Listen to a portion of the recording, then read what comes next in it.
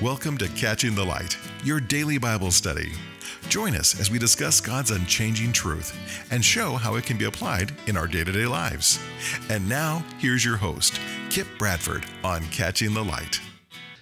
Hello, my friends. It is another episode of Catching the Light. See, I changed it just a little bit. You did. I, I, I've got to tell you, as many times as I've done this, this is the hardest part: is to have something original to say at the beginning. So, welcome to this episode of Catching the Light. In case I threw you off a little bit, today we have Rebecca. We haven't had you in a few episodes. We've had I Kee. know. Yeah. Yeah. I hope you enjoyed her and were We- nice to her. We love having Kee. I don't know if we were nice, but we love having Kee.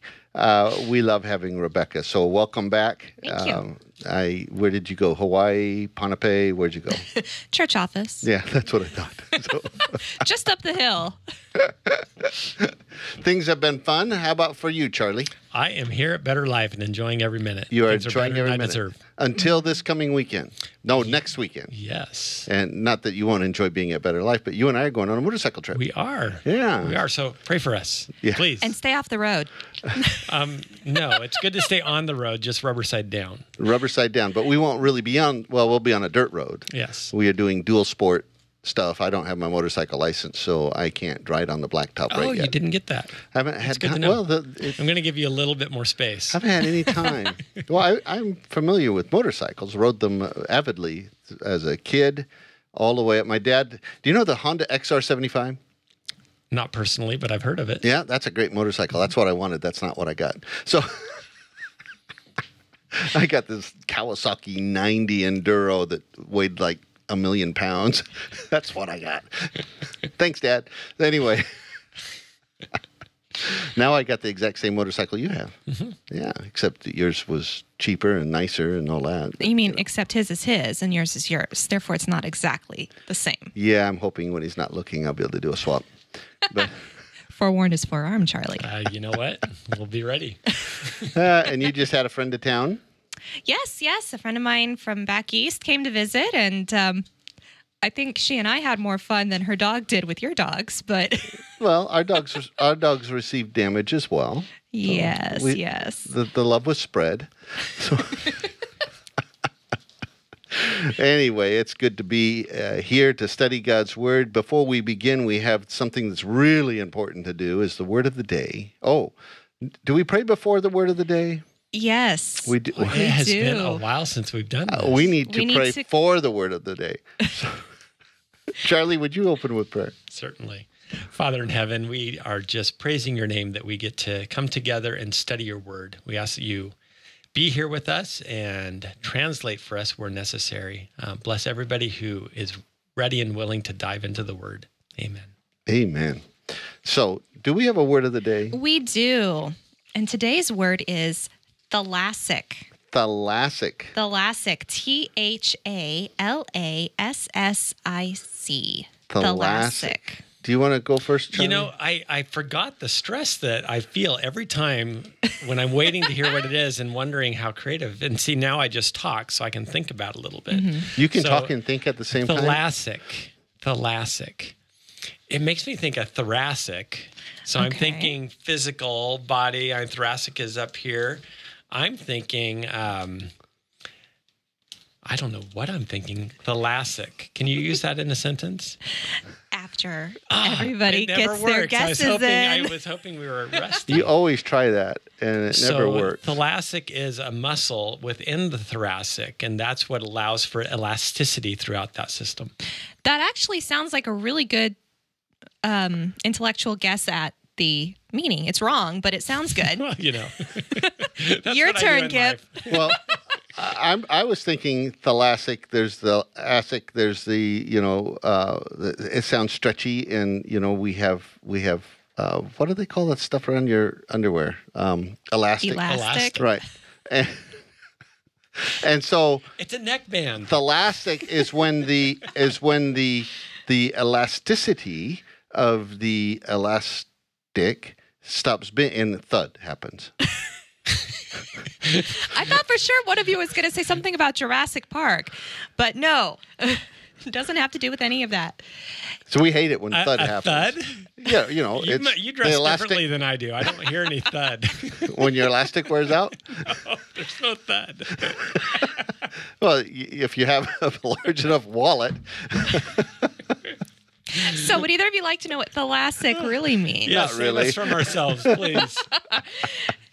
It is relating to or being situated around an inland sea. that's what I said. the if you elastic. have a belly full of water, I Okay, suppose let me. that's true. I need to arrange that in my brain. Uh, related to or situated, or situated around. by situated around an inland sea. An so the Sea of inland Galilee Is- was an inland sea, and so it's thoracic. thalassic. Thalassic. The So some of some of Jesus' uh, most well-known miracles uh-huh. were thalassic. They were done near the inland sea of the Sea of Galilee. Oh, Charlie and I were talking about that earlier today. That that Jesus crossed the sea and stepped off the boat and was met by the man with the demons. yes. Mm-hmm. He had And the, gone the, through the, swine had a thalassic encounter. They s- did. they had- Not nearly so pleasurable. yeah. Sorry, Oscar Mayer. Anyway, um, how much fun is that? I forgot the word of the day. It was so silly. okay, so we are we are ready to start our Bible study. I think we need to move to more meaningful things. Uh, we're going. We we we had just finished talking about with Key, so I'll bring you up to speed, Rebecca, because all of our viewers are up to speed. Yes. they are the sharpest viewers there are yes. but uh, we have Rebecca, who is not a viewer. Sure, Kip. Just spit it out that Rebecca's not sharp. Backpedal, backpedal, backpedal. Anyway, bring me up to speed on on this. Don't know if I can. Maybe I can help. We're picking up in the middle of chapter 14 of Matthew. So, Charlie, what happened in the first part of the chapter? oh, man. Okay, Do we need to stop? No, we're, good. we're good. This is Okay. fun. Okay. this is a tough story. You know, you have Herod putting himself into a situation um, where he leaves himself no way out, and he is used to to kill a prophet of God. Ah, so this is the death of John the Baptist This that is just the death- happened. Death of John the Baptist, and we it finishes by he he gives this promise out, Mm-hmm. and it results in John dying. Now, Be careful what you promise. that's a very serious story. Uh, however, if we just take the the the framework of the dynamic of that story and we bring it into our own lives, how often have we put ourselves in a position where we have very a very uncomfortable out? Mhm. and and at that time we are we are actually we have placed ourselves in a in a situation where we can choose the right way out which is uncomfortable or we can do what herod did and bend Yeah.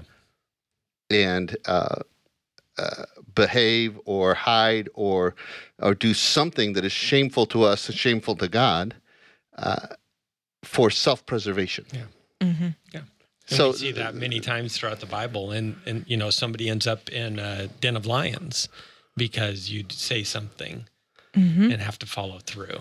Mhm. Yes. And yeah, and so King Darius, that, that that's a great example. But on the other side of that example is Daniel's example, where he said, "You know what? I'm not going to Yeah. put myself in a position where I am going to shame God and shame right. myself." hmm And God always blesses us when we stand for Him. Yeah, he's promised, Him that honors me, I will honor. And I'm sorry, I don't remember the reference for that, but I think it's somewhere in Samuel. But yeah, God has promised, and He always keeps His promises. Yeah. So praise God. So we are starting in uh, Matthew 14, uh, chapter 14, verse 13, I believe, is where we. Yes. So when Jesus heard it, it being the news of the death of his cousin, he departed from there by boat to a deserted place by himself. But when the multitudes heard it, they followed him on foot from the cities. And when Jesus went out, he saw a great multitude, and he was moved with compassion for them and healed their sick. When it was evening, his disciples came to him, saying, This is a deserted place, and the hour is already late. Send the multitudes away that they may go into the villages and buy themselves food. You know, it's I've always thought about that. You, you focus on going away and getting the food, but the the picture here, the framework here is one of grief, mm-hmm. right? They're grieving the loss. Several of the Jesus's disciples had been disciples of John as well. Mm. And so reading between the lines, to me, it's also let us be alone. And just reflecting on that a little bit, we've all been in that position, right? Where we just want to be alone in our grief. But there are times, and I think Jesus perhaps experienced this as well. And uh, this is this is not a time to grieve and be within ourselves. This is a time to reach out and be with others and serve others. And through that service, we can deal with our grief. Does that make sense?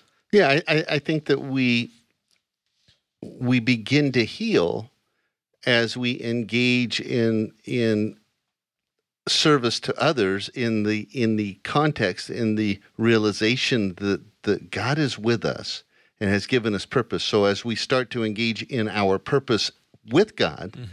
uh, I think He can better heal us as we we begin to see that there is a, a larger picture. You know, mm-hmm. our grief, our sadness is real. Mm-hmm. But we talked the other day again about about the short end of the rope. Yeah. You know, that we have this little piece of rope, which is, uh, well, I have a really long rope and a little piece of leather on the end. And if that leather represents life on this earth before the Lord comes or before I take a dirt nap, right? Uh, but the rest is eternity. And we as human beings focus on this little piece of rope or leather strip.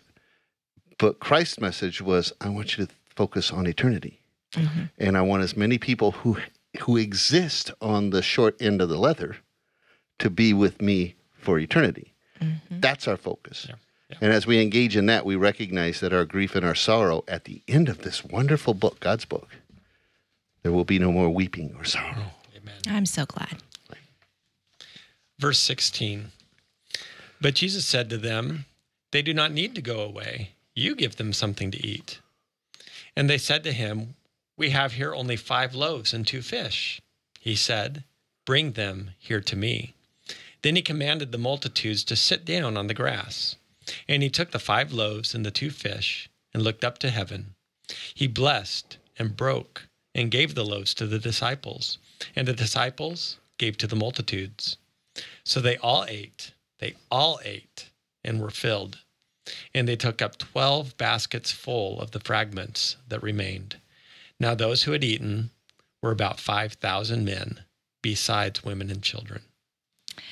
This is incredible. And there are two things that, that particularly stand out to me. And I don't think we're going to have time to get to both before the break. But I'll mention the first one real quick. Scholars estimate that there might easily have been 20,000 people total in that group. Matthew only says about 5,000 men. But how many women and children were in there? So the scholars estimate easily 20,000. And yet, in Jesus' hands, five loaves of bread and two little fish were more than sufficient hmm. to feed all of them. Yeah, I, I love God math. you know, it just never makes any sense. And then, and then at the end of that, there's 12, 12 baskets left over. We'll be back right after this message. Thank you for listening to Catching the Light. We pray you're being blessed and encourage you to contact us with your questions and comments. You can reach us by email at radio at betterlifetv.tv. That's radio at betterlifetv.tv. Or visit us at betterlifetv.tv slash catching the light. That's betterlifetv.tv slash catching the light. Or simply call us at 541 474 3089. It's our sincere desire that you'll be blessed while studying the Word of God with us here on Catching the Light. Catching the Light is listener supported. To become a financial partner, visit our website or write to us at P.O. Box 766, Grants Pass, Oregon 97528. That's P.O. Box 766, Grants Pass, Oregon 97528. Hi, and welcome back to Catching the Light. We are in Matthew chapter 14. We, Charlie was just talking about the, the, or actually, it was Rebecca. I just get you guys confused, apparently. Rebecca was just talking about the, the, the multitude, a great multitude, really, mm-hmm. 20,000 men and women that, that, that for whatever reason in the culture they counted the men. They didn't count the women. Now when i was a certain age that's all i counted. So i don't understand. So Well, Matthew was a tax collector. He was used to counting heads of households. Perhaps that had something to do with it. I don't know. well i think it was more of a cultural thing I'm trying to help him here, okay? you're trying to help matthew he doesn't know it right now but he'll know it someday and he'll thank you for it um, so so we have estimated 20000 people and at the end of the meal there was 12 loaves left or 12 loaves 12 baskets, Baskets. left over uh, I think there's some significant meaning we can't get into there, but we have the 12 tribes of uh, Israel. We have the 12 baskets. There's there's there's this recurring theme of 12 that that uh, relates to the Israelites in a very special way. It would be interesting to do a study on that sometime. Charlie, you got a thought, I think. Yeah, I was just. I remember growing up. Sometimes we scoffed at some of these. I I, I would scoffed. Oh, I We- thought you, said stuffed. scoffed. We'd, you know, you look at somebody speaking and they didn't have a microphone or anything, and how on earth is that even possible? So you- it made me doubt the story. And it was interesting. The other day, we were coming back from backpacking, and Tanya was reading about Whitefield and how he would speak to these multitudes of, of people. And Benjamin Franklin was at one of his, and actually mathematically and distance and everything figured out how many people could he speak to, and these numbers are right in that range. And so I, I just love how things if if we'll just study into something and think through it. Um, Benjamin Franklin wasn't a believer, um, but he lends credit credence to stories like this. That yes, this is possible. Well, all things are possible with God. So, so the problem is, is that we leaned on on human understanding to bring us Sure. to godly wisdom. Sure. So, but you know, uh, uh, one of my favorite authors, uh, Ellen White, was known to be able to speak to great, large crowds, and I believe God supplies a megaphone uh, so that so that a message can be heard Yes. and you know she was just a little bitty kind of sickly lady uh, at times or at least early on i don't know but she didn't have a big voice i'm sure uh, god always supplies the needs when people have a need to hear Yeah. so Well, shall we move on to the rest of four, chapter 14? So, beginning in verse 22, immediately Jesus made his disciples get into the boat and go before him to the other side, while he sent the multitudes away. And when he had sent the multitudes away, he went up on the mountain by himself to pray. Now, when evening came, he was alone there, but the boat was now in the middle of the sea, tossed by the waves, for the wind was contrary. You know, a, a detail that I often have missed in reading through this story is what Jesus did after he sent everyone away. You know, so dis- the people were fed. Jesus had the disciples gather up the fragments, and then he sent the disciples out on the boat into the Sea of Galilee, and he sent the people home. And as we're about to see, the next thing we, the next part of the story that we see is is focused on the sea and the disciples. But what is Jesus doing in the meantime is he's taking time alone with God to pray. And that's such an easy detail to overlook, but that's what gave him power Yes. was his connection with his father and taking time to pray. it, it-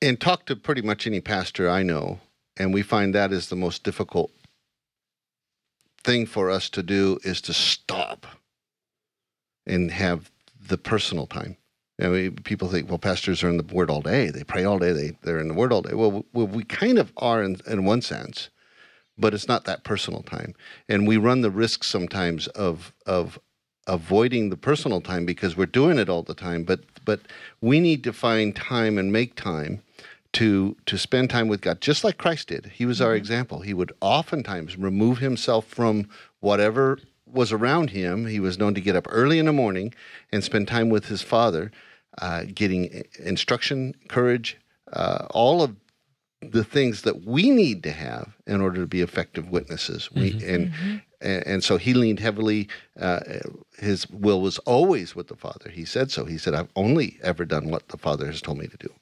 We need to have that same attitude and realize that that is the source for our success. Our success is, we are not the source for our success. Right. My own determination is not the source of my success. Praise the Lord.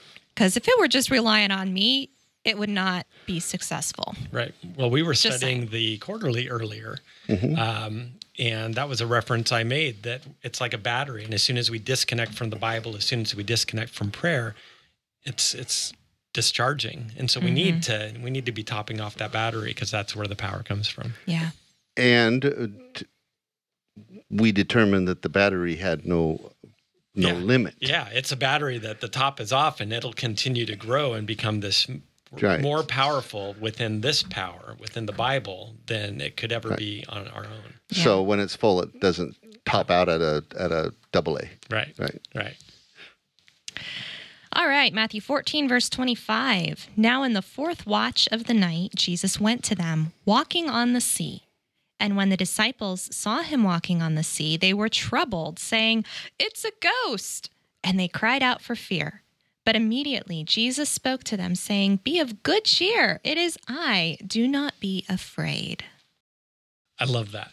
I love that in life. You know, we can be in these dark, stormy, we can be in the valley and Jesus shows up. And that it's that's the time to rejoice because Jesus is there, whatever whatever else is going on. And boy, he was in prayer a long time. According to the Roman clock, that's from 3 a.m. to 6 a.m.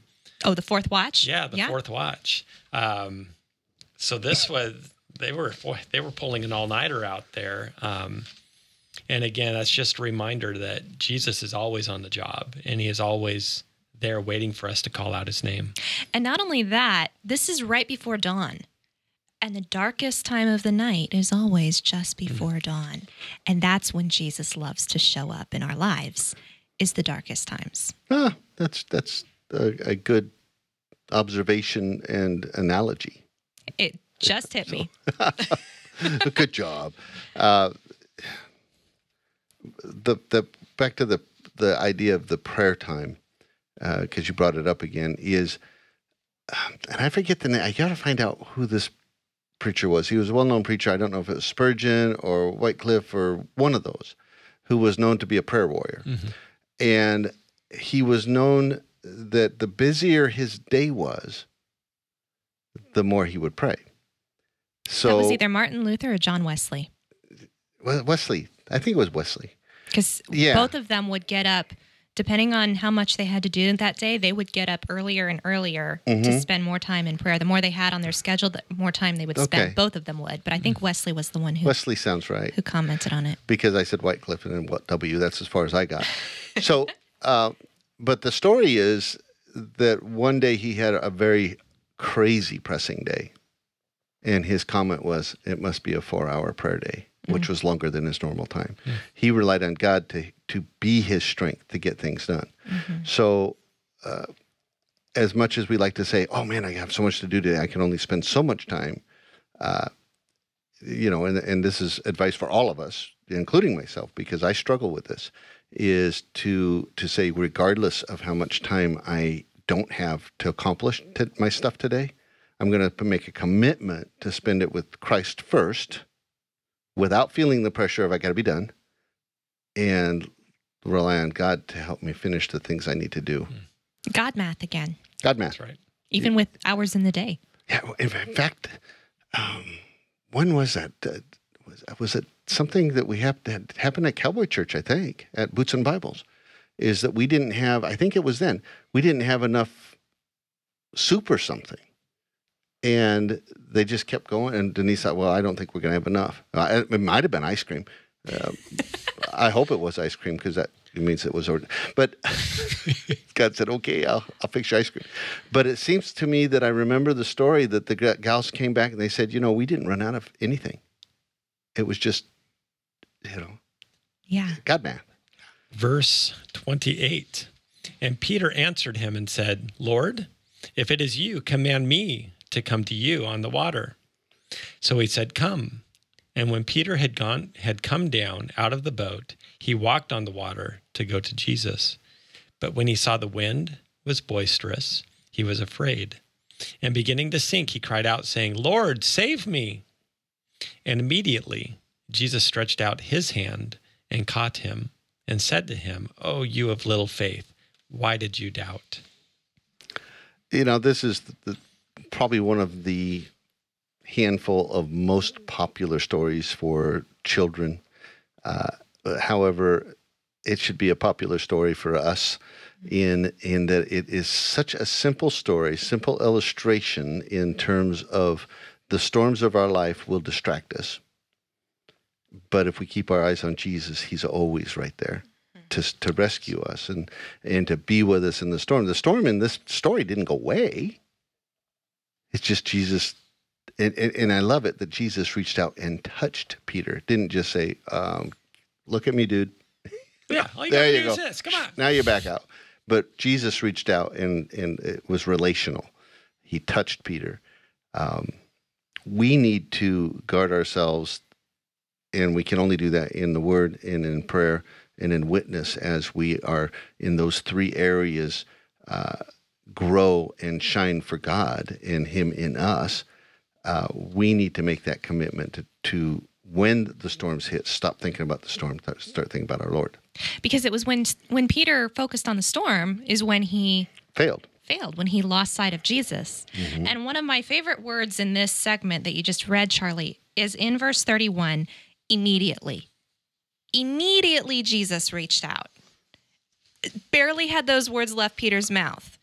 There was not any, oh, you need to look to me for it was immediate he was right there. Mm-hmm. And I love that. And I think it's important to remember, you know, you could easily take that and say, well, God, you didn't show up for me because I called your name and I'm still here suffering. Mm-hmm. Look for where he is reaching out to you. Mm-hmm. It may mm-hmm. not be the way you expected, but he is absolutely right there. Mm, yes. Yeah. We, we so often want to dictate how God will respond. Mm-hmm. I know someone who had prayed that God would would supply a need and that need actually was supplied. And the person said uh, they were a bit annoyed because it wasn't in the context of of what they wanted. The supply was met, but it came from over here, uh, and it was a little more uncomfortable way to receive that supply. So God said, "Yeah, but you need that discomfort at times because mm-hmm. it leads to humility, understanding, you know? And so sometimes god does respond in a way that that teaches us a lesson. Yeah. So yeah good to be grown. And it's it's so vitally important that we don't lose sight of jesus. Because so long as we keep him in focus keep him in view then we can see what he's doing. And we can we can have that um, that walk with him that we want and not lose sight of him. Mm-hmm. that's when we fall. That's when that's when the storms are huge. Whatever the storm is in life at the time, that's when it's the worst. That is true. So uh, we just have a few moments left. So I would just say to our viewers that no matter what the storm is in your life, uh, turn to Jesus. Keep your focus there. He will always be there. We'll see you next time here on Catching the Light.